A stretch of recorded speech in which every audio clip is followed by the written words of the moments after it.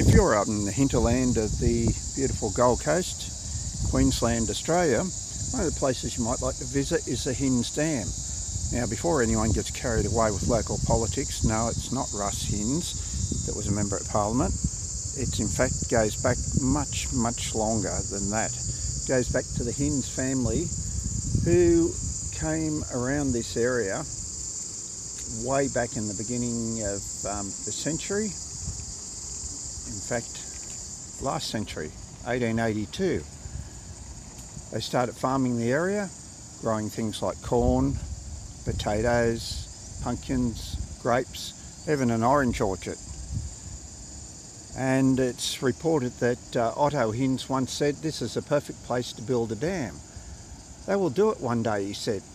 And eventually the Queensland government, through what is now SEQ, Southeast Queensland Water, acquired the site and construction at Hinze Dam that we're looking at now, stage one, which is on the Nerang River, which is fed by the Little Nerang River in the Numinbah Valley. They developed this structure you see in front of you now that opened in 1976. This is the spillway we're looking at from behind the dam wall.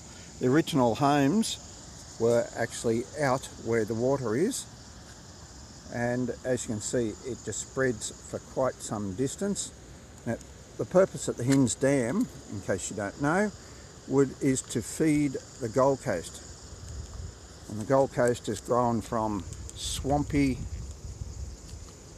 mosquito infected area to probably the largest tourist area in Australia at the moment. So we're just going to move down here a little bit and have a look. It's all free when you come here too to walk around the Hinze Dam. You can spend an hour, half an hour, you can spend a whole day here if you want to. There's a cafe, souvenir shop, those sort of things that um, you can visit. And that is actually Advancetown Lake that we're looking at there.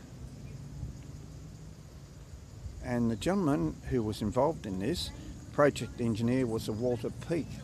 Now, as you can see by the hills and things around here, it was a bit of a uh, problem. It's difficult terrain. It was built when there was material shortages. And he started out with the Lil Nerang Dam, which was built between, I think from memory, 1954 to 1963. He gained 30 years experience.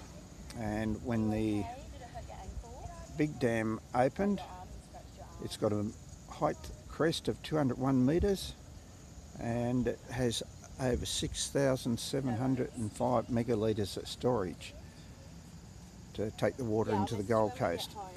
It was delivered one year behind, ahead of schedule and something like a bit over £2 million under the original budget despite rising costs, labour shortages, limited government funding and Pluck a Duck certainly wouldn't be able to build this these days. So this is what we're looking at now. It's one of actually 26 dams that flow into the larger Hinze Dam and feeds the Gold Coast. So quite a major structure and that is the Hinze Dam fed by the Nerang and the Little Nerang River. So hit the subscribe button on the bottom right hand side of this video. Post a comment if you'd like to post a comment and we look forward to seeing you on the next presentation. Meanwhile, if you're out in the area visiting the Flying Bean Cafe on your motorcycle, make sure you ride safe. Hit the subscribe button now.